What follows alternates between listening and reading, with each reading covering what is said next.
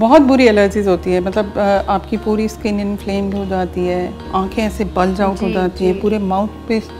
swelling आ जाती है even पूरी बॉडी पे भी आ जाती है